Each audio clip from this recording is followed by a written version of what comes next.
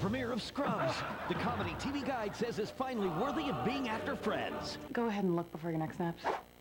Awesome. And are Will and Grace ready to have a baby? Do we have the sperm? Okay, you're gonna have to give me a little more notice than that. Or will Grace ride into the sunset with Harry Connick Jr.? Whoa! Then, from the creators of Will and Grace, the new romantic comedy Good Morning Miami. You're staring at her again. I'll take one of those. A stare is third base to a nun. NBC premiere Thursday continues.